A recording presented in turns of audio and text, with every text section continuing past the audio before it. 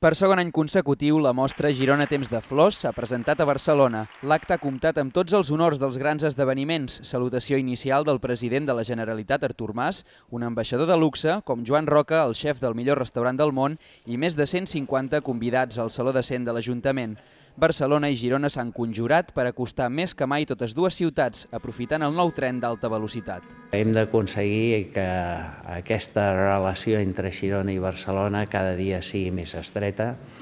Jo sempre dic que la capital de Catalunya no ha d'estar per servir-se dels catalans, sinó per servir els catalans.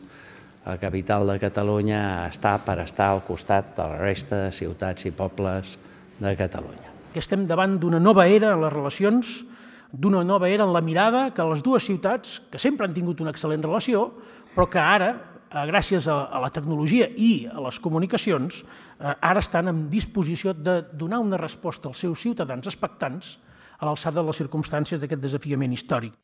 La 58a edició de Girona Temps de Flors, que es farà entre l'11 i el 19 de maig, comptarà amb un total de 145 espais florals, repartits en patis, exposicions i jardins per tots els racons emblemàtics de la ciutat. A més, s'ha organitzat un concurs d'aparadors i una àmplia oferta gastronòmica de cuina amb flors, còctels i plats temàtics.